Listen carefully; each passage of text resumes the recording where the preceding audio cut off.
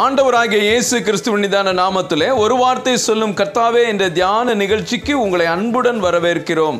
இந்த நாளிலும் மீண்டும் உங்களை கத்தருடைய வார்த்தை மூலம் சந்திப்பதிலே மிக்க மகிழ்ச்சி அடைகிறோம். நேற்றைய தினத்திலே கேள்வி நேரத்தில் கலந்து கொண்டு பதில்களை அனுப்பி கொடுத்த அனைத்து கத்தருடைய பிள்ளைகளையும் இயேசு கிறிஸ்துவின் நாமத்திலே வாழ்த்துகிறோம். கர்த்தர் உங்களை ஆசீர்வதிப்பாராக. மத்திய ஒன்பதாம் அதிகாரம் முப்பத்தி ஏழு முப்பத்தி எட்டு வசனங்கள்.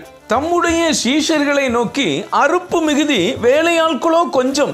ஆதலால் அறுப்புக்கு எஜமான் தமது அறுப்புக்கு வேலையாட்களை அனுப்பும்படி வேண்டிக் கொள்ளுங்கள் என்றார். கத்தருடைய பிள்ளைகளாகிய நாம் அநேக ஜெப விண்ணப்பங்களுக்காக ஜெப கூட்டங்களிலும் திருச்சபைகளிலும் ஜெபித்திருப்போம். ஆனால் ஆண்டவர் நமக்கு ஜெபிக்கும்படி கொடுத்த இந்த ஜெப குறிப்பிற்காக ஜெபித்திருக்கிறீர்களா? அப்படி இந்த ஜெப குறிப்பில் என்ன விஷயம் இருக்கிறது என்று கேட்கிறீர்களா?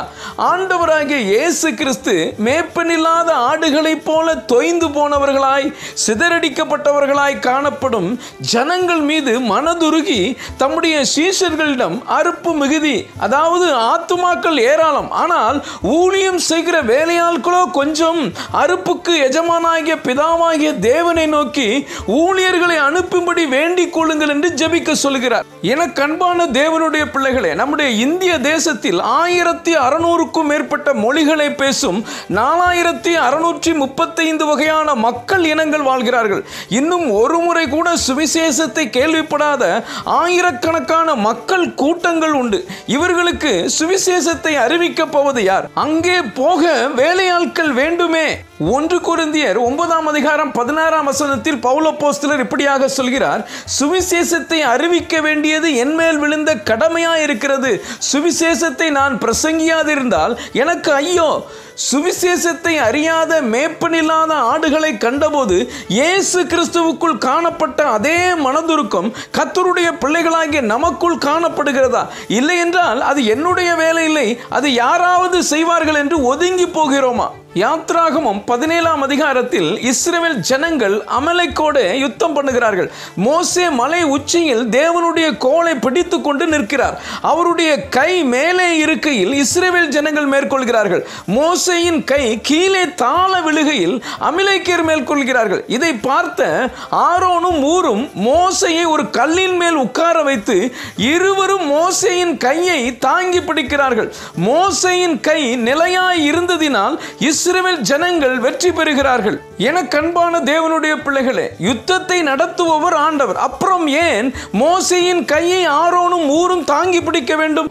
ஆண்டவர் எப்பொழுதுமே எந்த ஒரு காரியத்திலும் எந்த ஒரு அற்புதத்திலும் நம்மோடு இணைந்து செயல்படுகிறவராக இருக்கிறார் அது மட்டுமல்ல நம்முடைய பங்களிப்பையும் அவர் எதிர்பார்க்கிறார். சுவிசேஷத்தை அறிவிக்கும் ஊழியத்தை தேவ தூதர்களிடம் ஆண்டவர் கொடுத்திருந்தால் ஒரே நாளிலே உலகம் முழுவதும் சுவிசேஷத்தை அவர்கள் சொல்லி இருப்பார்கள் ஆனால் ஆண்டவர் அந்த பொறுப்பை அவர்களிடம் கொடுக்கவில்லை நம்மிடம் கொடுத்திருக்கிறார். மிஷினரி பணித்தளத்தில் ஆண்டவருக்காக ஊழியம் செய்து கொண்டிருக்கும் மிஷினரிமார்களை ஜபத்தாலும் காணிக்கையாலும் தாங்கி பிடிக்கும் ஆரோன் ஊர் போன்றவர்கள் எழும்ப வேண்டும். அப்பொழுதுதான் மோசே போன்ற மிஷினரிகளின் கைகள் தளர்ந்து போகாமல் இருக்கும். கடந்த வாரத்தில் தேவாலயத்தில் ஒரு சாட்சியை கேட்டேன். சென்னை தாம்பரம் அருகே ஒரு சிறிய கிளினிக் நடத்தி வந்த ஒரு டாக்டர் ஒரு மிஷினரியை காணிக்கை கொடுத்து தாங்க ஆரம்பித்தாராம். ஆண்டவர் அவரை ஆசீர்வதிக்க ஆசீர்வதிக்க ஒவ்வொரு மிஷினரியாக கூட்டிக் கொண்டே போனாராம். இன்று இருநூறு மிஷினரிகளை அவர் ஒருவரே தாங்கிக் கொண்டிருக்கிறாராம். அவருடைய சின்ன கிளினிக் இன்று ஒரு மிகப்பெரிய மருத்துவமனையாக வளர்ந்து பெருகி இருக்கிறது. ஆண்டவர் அவரை அபரிவிதமாய் ஆசீர்வதித்திருக்கிறார். நான் பலமுறை அந்த மருத்துவமனைக்கு சென்று வந்திருக்கிறேன். ஆனால் இந்த சாட்சியை கேட்ட பின்பு மிகுந்த ஆச்சரியமடைந்து ஆண்டவரை நான் துதித்தேன். இப்படிப்பட்ட அநேக ஆரோன்களையும் ஊரையும் ஆண்டவர் நம் தேசத்திலே எழுப்புவாராக.